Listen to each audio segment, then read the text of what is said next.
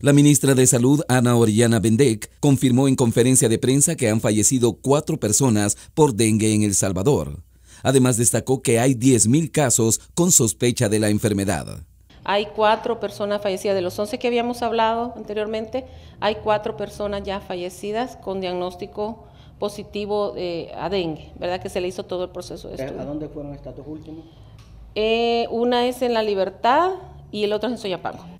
La funcionaria también dijo que ha habido un incremento en los casos de dengue con respecto al año 2018. Sin embargo, explicó que esto se debe a que toda la región se encuentra afectada. Van 11, van 11 casos, de los cuales 4 son, son, ya son positivos y febriles eh, con sospecha de dengue son más de 10 mil.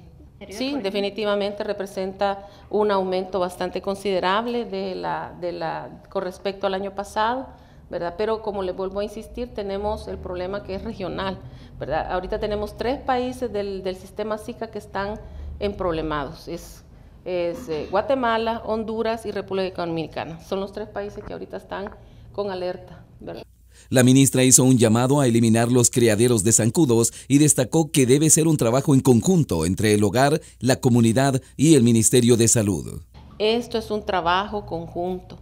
Nosotros solo somos 33 mil empleados en el ministerio, no podemos estar en, cada hogar.